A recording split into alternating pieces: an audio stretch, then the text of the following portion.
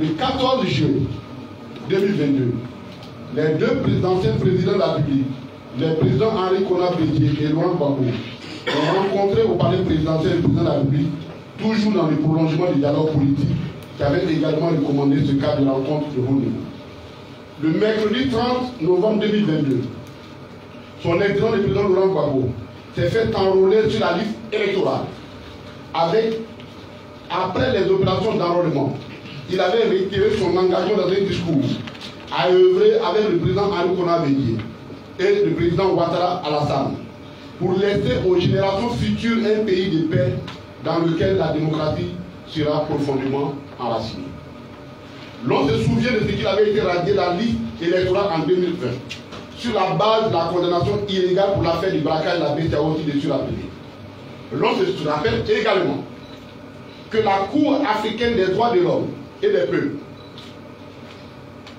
avait, dans un arrêt en date du 25 septembre 2020, ordonné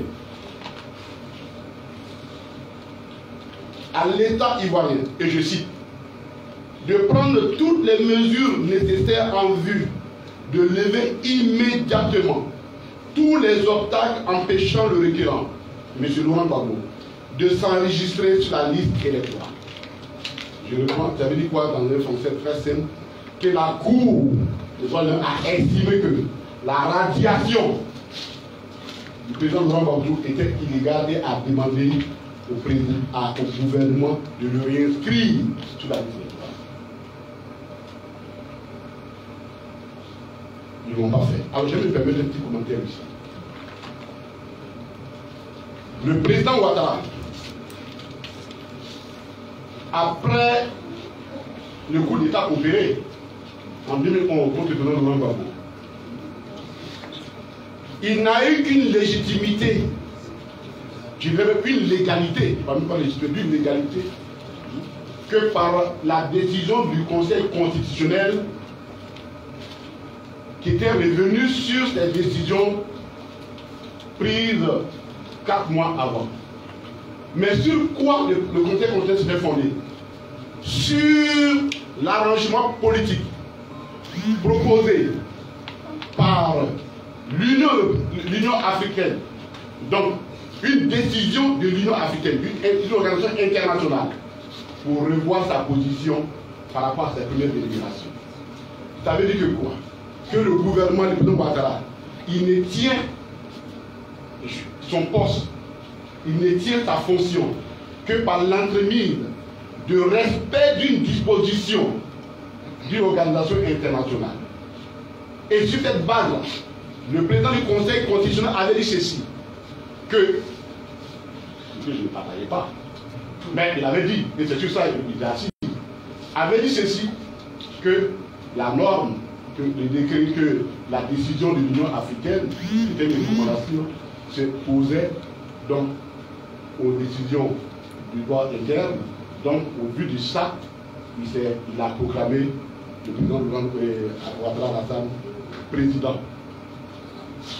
Quand vous lisez très bien le texte, le texte ne dit pas élu, il dit président. Donc, c'est un arrangement sur la base d'une disposition d'une organisation internationale. Si donc lui tire sa légalité d'une organisation internationale, pourquoi refuse-t-il de se soumettre à une organisation internationale qui ne fait pas des recommandations, mais qui est une institution, une institution judiciaire et donc qui fait des injonctions.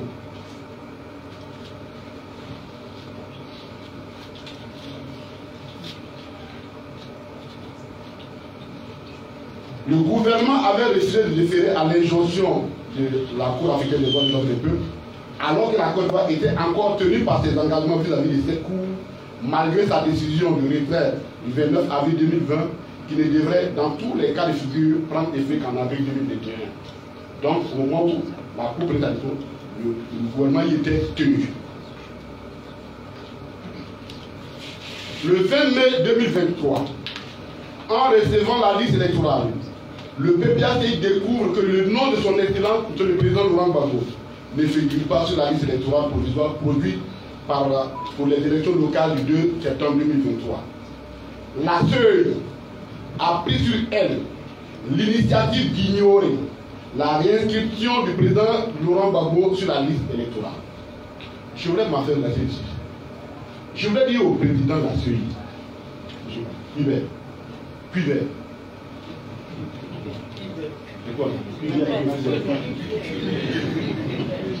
il veut lui dire, il est sept magistrats. La CEI n'est pas de juridiction. La CEI n'est pas une juridiction et la CEI ne peut pas émettre de la jurisprudence qui a valeur juridictionnelle, judiciaire. C'est un organe administratif. Et il ne peut pas interpréter la loi, lui, à sa façon. La CEI n'est pas un organe juridictionnel. Même si elle est dirigée par un magistrat. Je le dis pourquoi. Il y a des faits, quand vous les, regardez, vous les trouvez anecdotiques. Mais ce ne sont pas anecdotiques. J'étais à la levée du corps du frère de euh, Hubert Oulaï. Et j'avais remarqué la disposition, pendant qu'on lui rendait hommage, les dispositions des juridictions assises. Et j'avais remarqué que l'on traite le président Pivert. Oui, Koulibaly.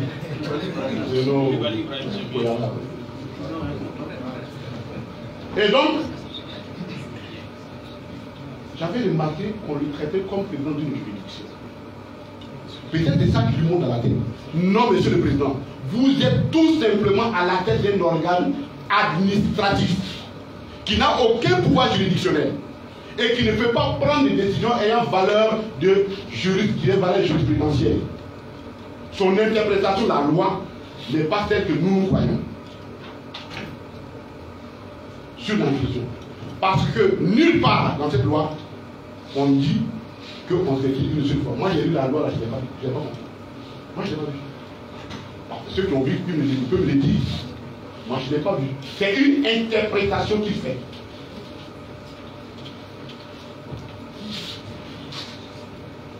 Parce que si vous me radiez, je sais quoi pour être réduit.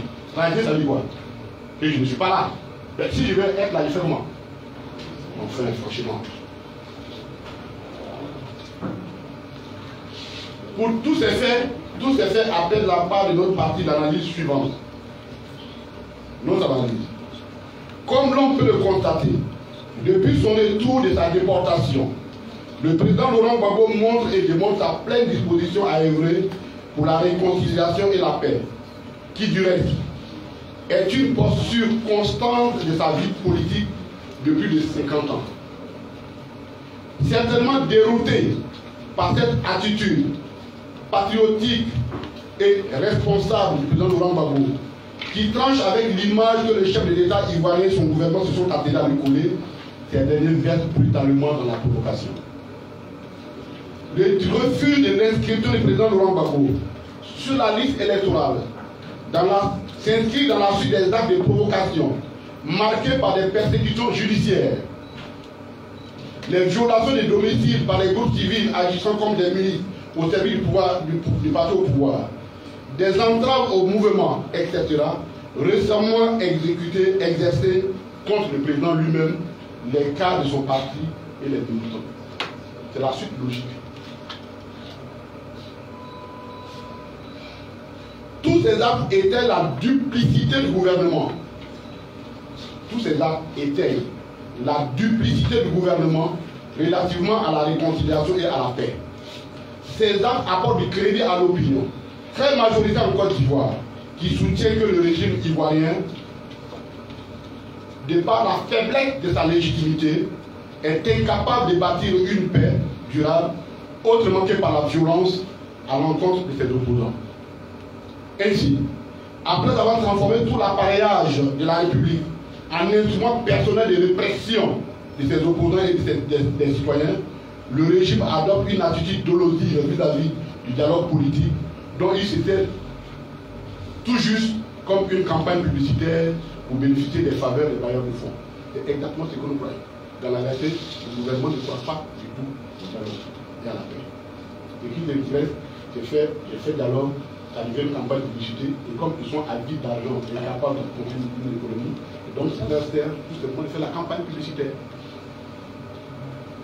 Ce faisant, le gouvernement se méprend totalement sur le compte de notre parti et en confondant l'approche pacifiste du président Laurent Gbagbo et le PPACI avec la faiblesse. Je reprends ceci.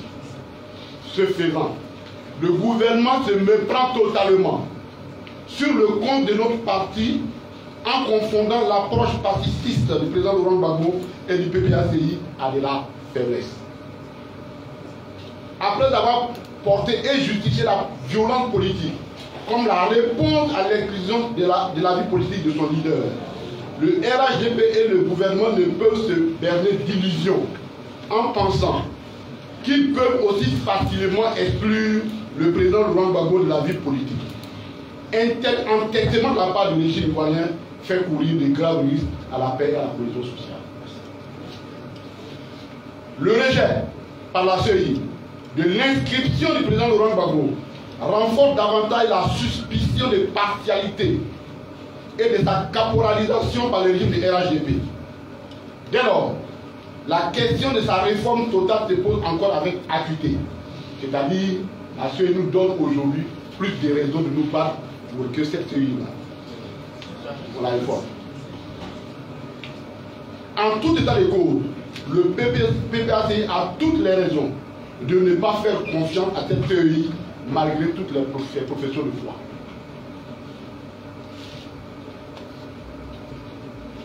Le PPAC relève en outre que le rejet de l'inscription de son président sur la liste électorale est une manœuvre qui vise à apporter un coup au moral de ses militants et sympathisants. Ce faisant, le RADP pense pouvoir stopper l'élan de leur mobilisation pour les prochaines élections locales. Le PPAC s'interroge, et ça, cette elle est importante, sur le mutisme des partenaires au développement, ce qu'on appelle la communauté internationale, sur la violation permanente des droits du président Laurent Gbagbo, sur la ruse avec laquelle le gouvernement ivoirien conduit ce qu'il appelle le dialogue politique et le processus de réconciliation, et sur le non-respect des engagements internationaux, refus d'appliquer une décision d'une Cour de justice internationale. Ces partenaires auraient-ils définitivement choisi le camp de l'oppresseur en régnant leurs propres valeurs. Dans un contexte international, écoutez bien cette phrase, pour ceux qui comprennent le français. Dans un contexte international aussi volatile et en pleine mutation, quel message le PPAC doit-il comprendre de cette attitude à tout le moins complaisante des dix partenaires vis-à-vis du régime ivoirien? Je le dis et je vais m'arrêter un tout petit peu pour expliquer. Ah ben, il fait chaud.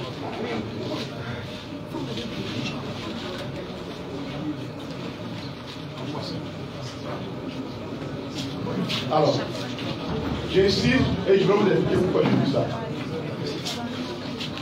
Le parti a entrepris une tournée dans les chancelleries à la suite de toutes les persécutions. Et cette tournée est menée par le président exécutif, moi, puis de nos camarades. Toutes les chancelleries occidentales que nous avons rencontrées quand on leur explique nos problèmes, oui, on a bien compris, il n'y a pas de problème. Mais quelles sont vos positions par, rapport à la guerre de la Russie et de l'Ukraine? C'est une bonne question. Alors j'ai fini par leur dire, au lieu de vous interroger, et on va leur la même réponse qu'on va leur donner au lieu de vous interroger sur l'attitude que le PPAC a vis-à-vis de la guerre entre la Russie et l'Ukraine, interrogez-vous sur la nature des rapports que vous entretenez avec le PPAC. Parce que c'est ça qui est l'élément déterminant. C'est ça qui est l'élément déterminant. Parce que si vous avez vous interrogez, c'est que vous avez des craintes. Si vous avez des craintes, interrogez-vous pourquoi vous avez des craintes? Alors, on ne peut pas être dans un pays, s'appeler la France, s'appeler la Grande-Bretagne, s'appeler les États-Unis, s'appeler le Canada, s'appeler l'Italie, s'appeler la Suisse. Donc, vous vantez l'excellence de la démocratie, de la liberté, et fermer les yeux, chouchouter un régime qui est totalement aux antipodes de vos valeurs. Il y a anguille sous roche. Et c'est généralement les anguilles sous roche qui se trouvent mal. Les anguilles, c'est une poisson. Et comme la roche, quand tu ne fais pas attention, donc au lieu de vous interroger sur nous, interrogez-vous sur vous et nous. Cela est important et j'insiste là-dessus. La situation économique de plus en plus difficile à Côte d'Ivoire expose le pays à des risques de troubles sociaux dans un avenir proche. Au moment où le pays a besoin d'un consensus national pour faire face aux futurs défis qui s'annoncent déjà, le gouvernement gagnera à éviter tout ce qui peut paraître comme casus, un casus belli. Or, pour le PPAC, la non-inscription du président Laurent Gbagbo sur la liste électorale constitue bien un casus belli. Casus belli, c'est quoi Je vais parler de celui qui, qui m'écoute. Ça veut dire, c'est qui en va par là? Voilà. Pour que tout le monde comprenne. Casus belli, en latin. Mais traduit dans notre français, pour que tout le monde comprenne, c'est qui en va par là? C'est ça. C'est pourquoi le PPI prend les positions suivantes.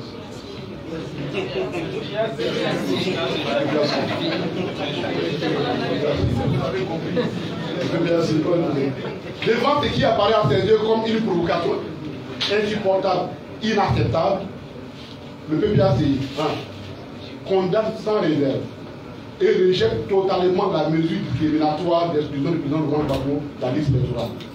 Il la juge inacceptable et il ne l'acceptera pas.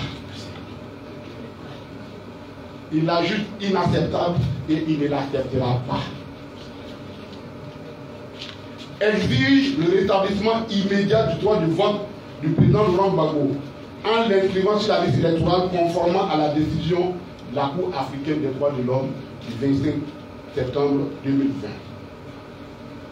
Rend le gouvernement entièrement responsable des risques de troubles que la décision de rejet l'institution du président Laurent Gbagbo fait courir au pays.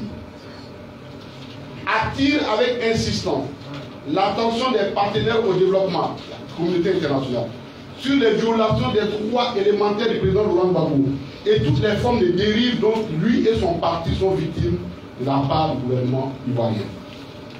Informe ses militantes et militants, sympathisantes et sympathisants, et l'ensemble de la population que les instances du parti vont se réunir incessamment pour dégager les actions en guise de réponse à cette provocation. Très bien.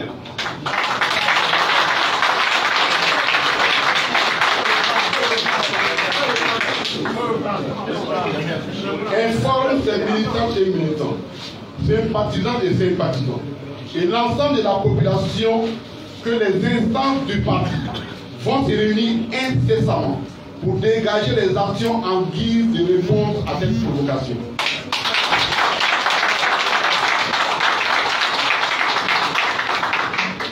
Dans l'intervalle, et ce jusqu'à nouvel ordre, demande à ses militants et militants, sympathisants et sympathisants, à davantage se mobiliser durant toutes les étapes du processus électoral en pour exprimer leur détermination inébranlable à participer au processus d'élection locale. C'est important, je le dis, parce que l'un de, leurs objectifs qu'ils poursuivent, c'est ça. Donc, nos militants ne nous laissons pas distraire. S'il y a des décisions qui vont être prises, on vous les dira, les, les du parti vous les, vous les diront. Mais pour le moment, allez-y. Parce que c'est aussi cette bataille-là. Elle fait partie de la bataille. C'est aussi une, autre facette de la bataille que nous devons mener. Ne pas nous décourager, se mobiliser, montrer au monde que dans la réalité, la légitimité populaire, c'est nous qui l'avons.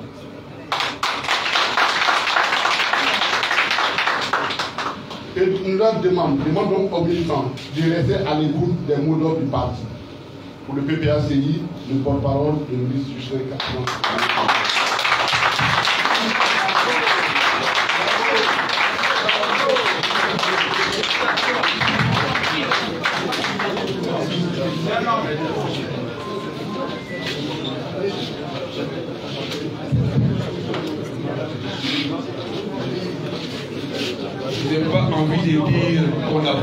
applaudisse ce mot de parole. Ça s'impose à nous.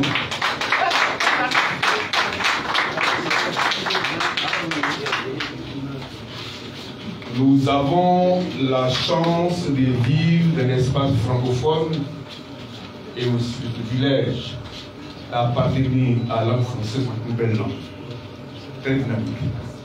Votre a dit, le parti se réunira incessamment et les mesures vont être prises seront communiquées. Il paraît évident que pour notre parti, cette situation ne sera pas sans réponse.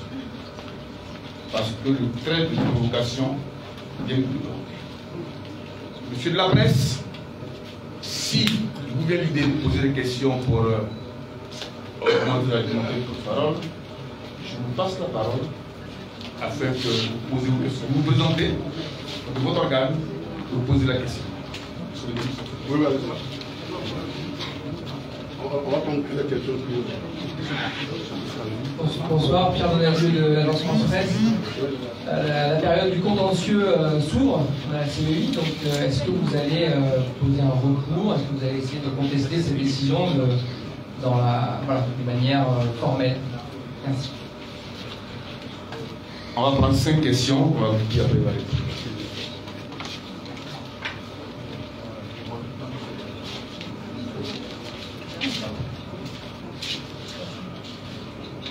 Bonsoir, je suis Eddie Bibi du journal L'Inter.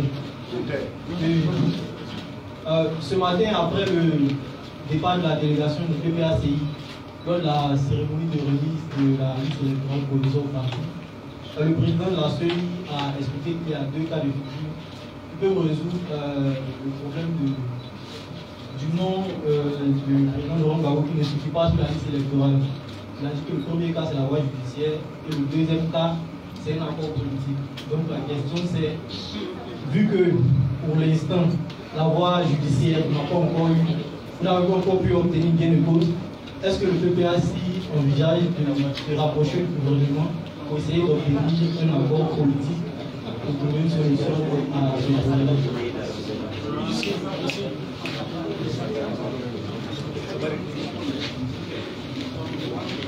Merci, Monsieur le ministre. Euh, je suis Lamine Koulibaly du quotidien Génération Nouvelle. Alors, est-ce que vous êtes surpris de cette situation? Parce qu'il y a plusieurs mois, euh, vous avez énuméré un certain nombre d'actions que le gouvernement aurait posées pour intimider et empêcher euh, le président Laurent Gbagbo, le PPAC, de s'installer. Est-ce que vous êtes étonné, vous êtes surpris par cette situation qui est arrivée?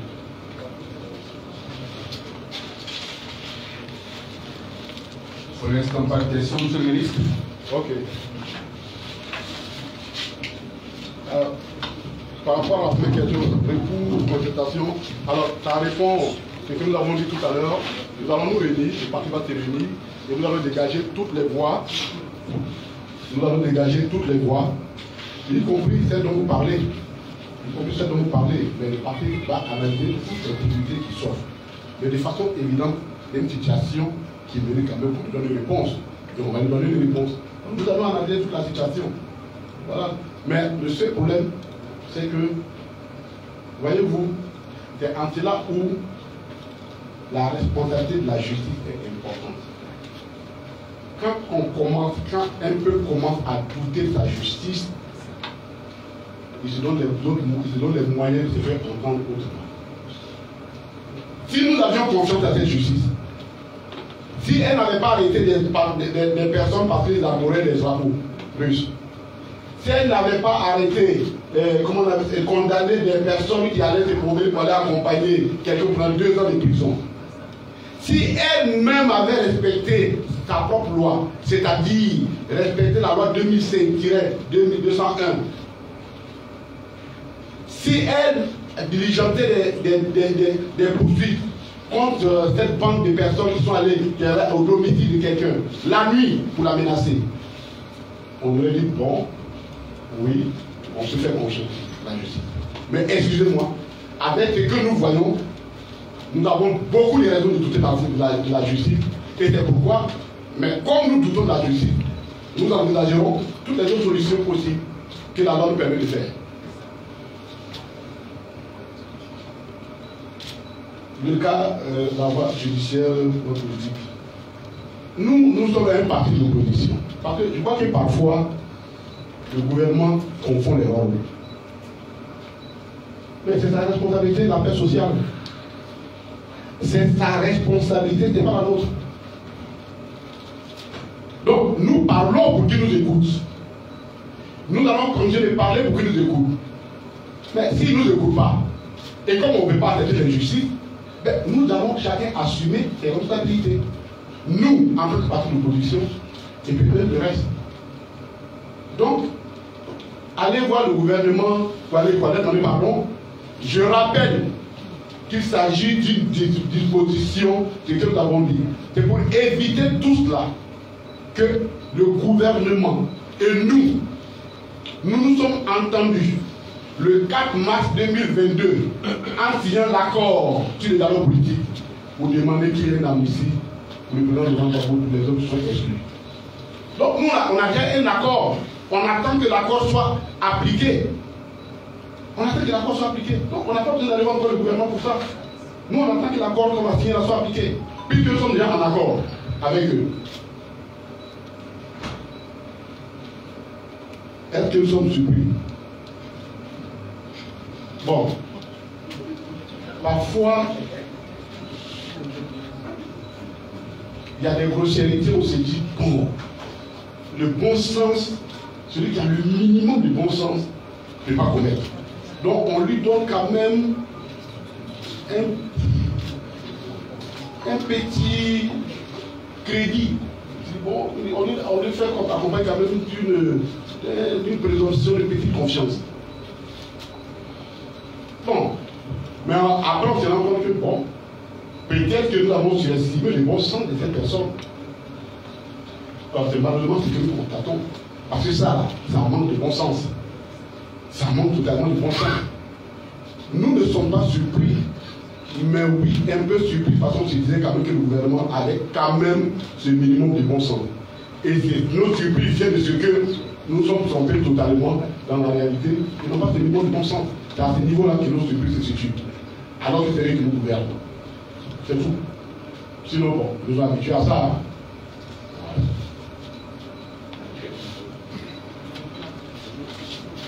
Monsieur le ministre, je pense qu'on n'a plus de questions supplémentaires.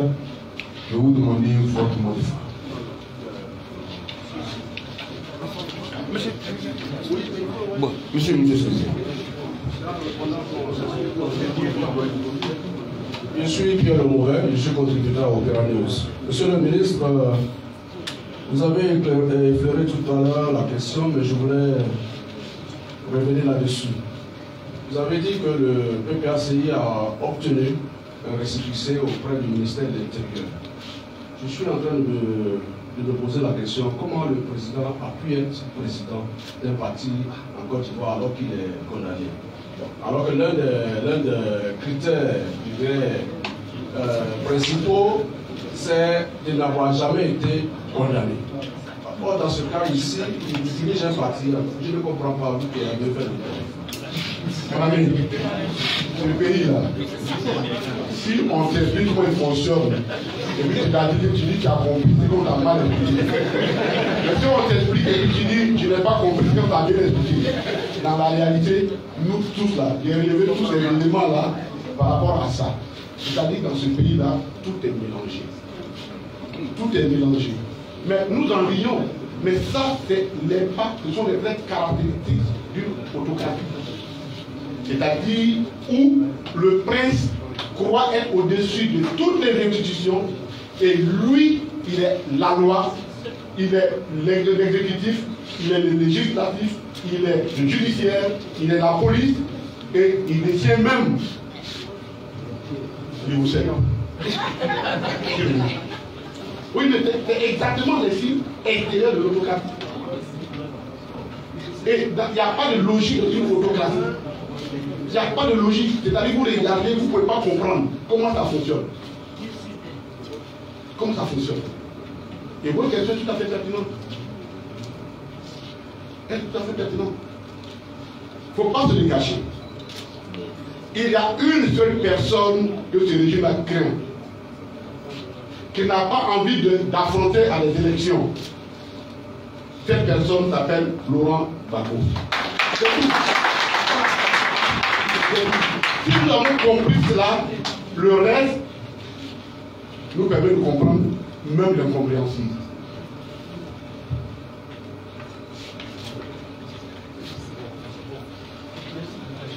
Donc cette fois c'est bon. On peut faire peur comme ça.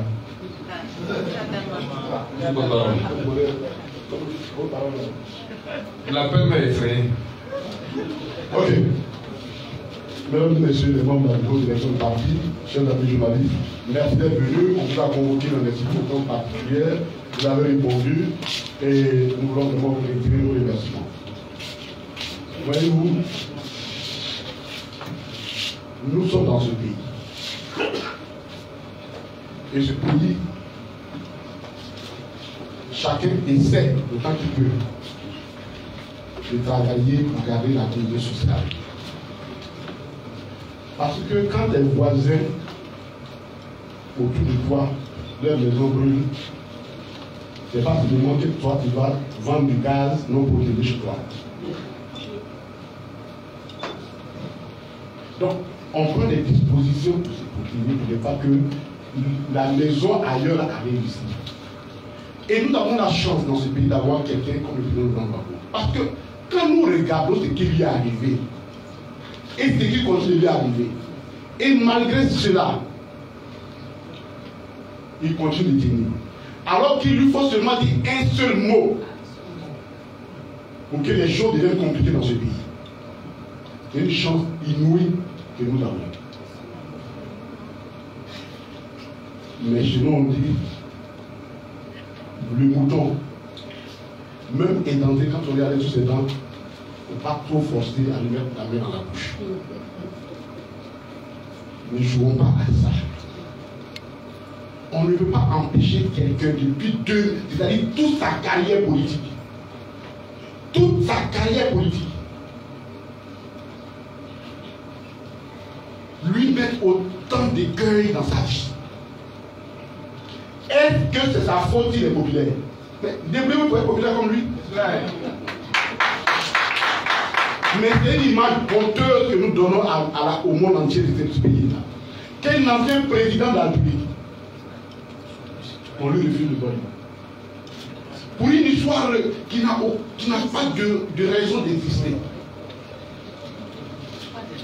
Un pays qui refuse d'appliquer les dispositions d'une cour internationale. Alors que ce même pays a envoyé le président Gbagbo devant une juridiction internationale, espérant être condamné là-bas. Ne, ne, pas trop sur l'accord. Parce qu'au bout de compte, il y a des choses qui nous arrivent. Et je peux vous dire, et je dis ça aux Ivoiriens, nous qui sommes là, ces deux choses-là ne nous, ne nous font plus peur. Soit la prison pour c'est de nous tuer. Mais ça là, si vraiment c'est ça qu'ils pensent être l'instrument de leur intimidation, je leur demande de changer de fusil. Parce que ça là, ça ne peut plus nous effrayer. Moi, et je ne connais pas les seuls. Ça ne peut plus nous effrayer.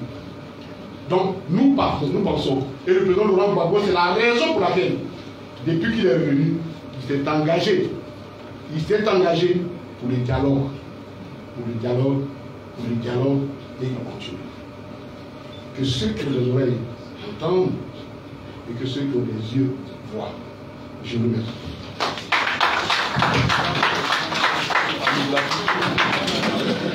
Amis de la presse, chers du parti, s'achève